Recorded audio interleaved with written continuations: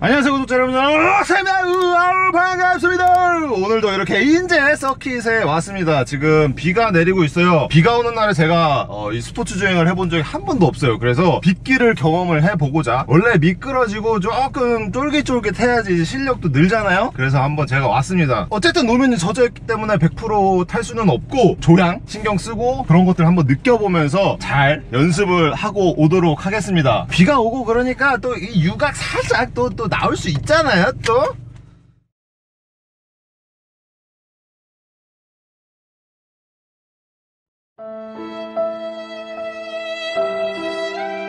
원래 젖은 노면 비 오는 날에는 이제 연석을 밟으면은 그대로 돌아버리기 때문에 연석을 밟을 수가 없어요. 그래서 정확한 레코드 라인을 따라갈 수가 없기 때문에 어쨌든 기록은 포기를 해야 됩니다. 대신에 이제 미끄러지는 상황에서의 대처 방법 그런 것들을 좀 연습을 할 수가 있죠. 들어가 보도록 하겠습니다. 1월 22일 11시 30분 3세션 들어갑니다. 외기온은 3도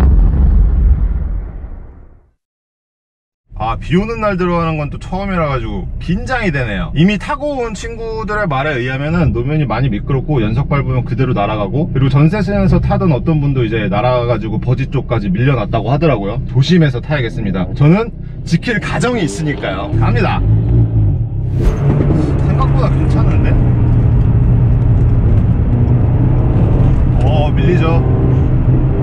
열도 안 오른 상태에서 바로 밀려 나갑니다. 연석을 밟을 수가 없으니까 아 쫄리네요. 아 쫄리네! 어우 무시워요 연석은 무시워요? 아 연석 못 밟으니까 라인이 다 바뀌어서 어 익숙하지가 않네요. 무섭습니다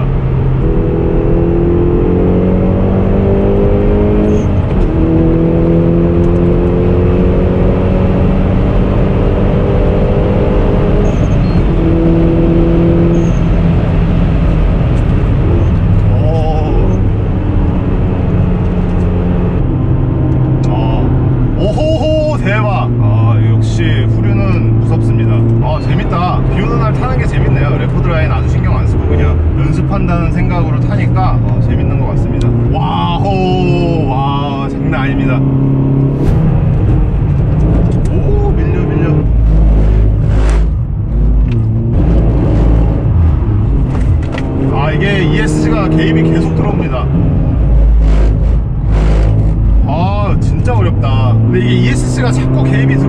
제가 컨트롤 하고 싶은 대로 되지가 않네요. 아 한번 다음 랩에는 꺼보고 한번 더 천천히 타보도록 하겠습니다. 자 ESC를 끄고 천천히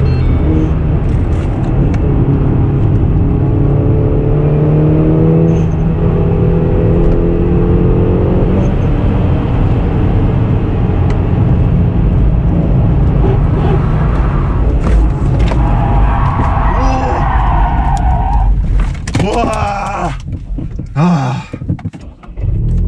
아 어렵네요 와 이 컨트롤이 진짜 어렵네. 그래도 연습을 해야 되니까 막 집중해서. 아 간만에 이렇게 쫄깃쫄깃합니다. 스무스하게 아 이렇게 해주면 안 되는데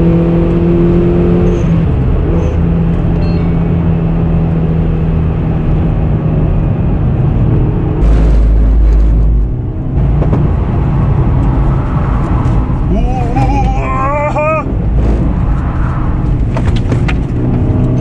와 진짜 빡세다 우후. 와 진짜 대박이네요 그립을 잃지 않는 게 중요한 것 같아요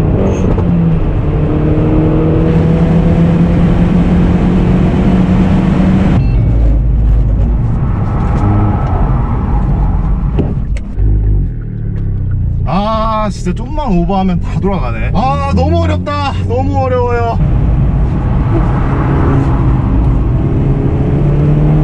이제 조금씩 감이 잡히는 것 같아요. 역시 사람은 경험을 해봐야 됩니다. 진짜 후끈후끈하네요. 최대한 부드럽게가 포인트인 것 같습니다 진짜로. 아 너무 힘들어. 아, 아 연습 오지게 했네 진짜. 다행히 아무도 없고 진짜 못하고 창피하고 부끄럽지만 아, 앞에가 하나도 안 보이냐. 어쨌든 이렇게 주행 잘 마무리했습니다. 다음 세션 또 한번 들어가서 연습도 오지게 한번 해보도록 하겠습니다. 아 점심 먹고 2세션. 2세션이 아니지. 5세션. 1시 13분. 외기온은 4도. 노면은 여전히 젖어 있습니다. 아 점심 라면 먹어가지고 공깃밥까지 거하게 말아먹었더니 또 중량치기 당하게 생겼습니다. 역시 ESC 끄고 연습주행 하는 걸로 할게요. 아 이 좀 감을 확실히 잡아야 되는데 그게 좀 어렵네요. 일단 들어가 보도록 하겠습니다. 레고!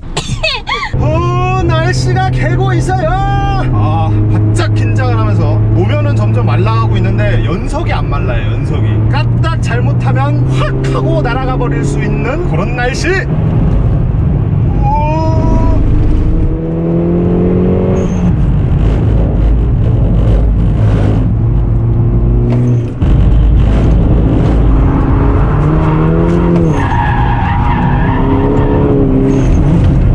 으아, 씨.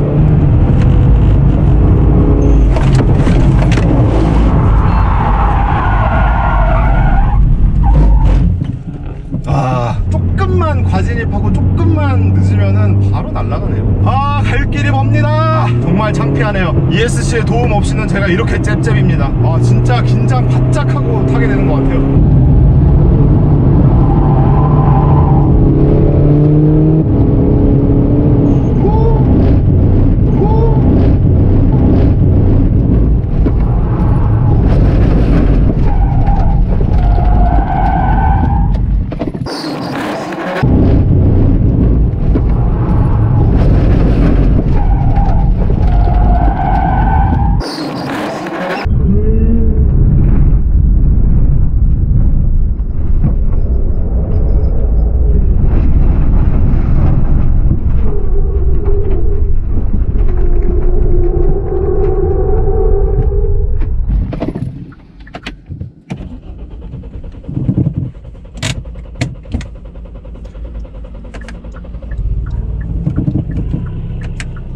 아, 아, 아, 다행히 펜스는 안 박았습니다. 아, 아, 역시 사고가 나네. 나가야겠습니다. 오지게 박아버렸구만. 과욕이 부른 참사. 일단 나가서 수리비를 물어줘야겠죠. 아, 아, 아, 네, 저기 나왔죠. 그립 표지판 맞아요, 네, 네, 네. 충분히 그릴 수 있는데 거기서 가서 5만 5천 원 결제하셔야 네, 네. 돼요 사진 한 번만 네, 네, 네, 알겠습니다. 네. 다른 거는 뭐칠 데는 없죠? 네, 괜찮아요. 아, 올라가면 되나요, 바로? 예, 예. 네. 알겠습니다. 네, 딱 맞네요. 과욕이 부른 참사. 아, 네, 다녀오도록 하겠습니다. 이야, 진짜 큰일 날 뻔했습니다. 차 상태 한번 보여드릴게요. 아이고야. 우와, 이쪽이 엄청 심하네, 진짜. 여기까지 다쳤습니다. 네, 제가 ESC를 끄고 과욕을 부리다가 이렇게 됐네요. 영상에서 보셨겠지만 제가 그 100m 거리 표지판을 하나 박살을 냈습니다. 다행히 이제 뭐 펜스로 안 가가지고 그게 제일 다행이죠. 아, 시동이 안 걸릴 뻔했는데 다행히 잘 걸려가지고 자가 복귀했고 일단은 그렇습니다. 하나 배웠으니까 앞으로는 이러지 말아야죠. 아, 민폐를 끼친 것 같아서 좀 죄송하네요. 일단 정리를 하고 집으로 가면서 또 얘기를 하겠습니다. 대차게 돌았습니다. 잘못을 인정합니다. 바보 같았습니다. 굉장히 또 다시 한번 반성을 하게 됩니다. 다행히 근데 주행 차량이 많지는 않아서 다른 트러블은 없었어요. 차에도 지금 당장의 하드웨어적인 부분에서 큰 이상이 없고 뭐 저도 다친 데가 없고 그 거리 표지판 100m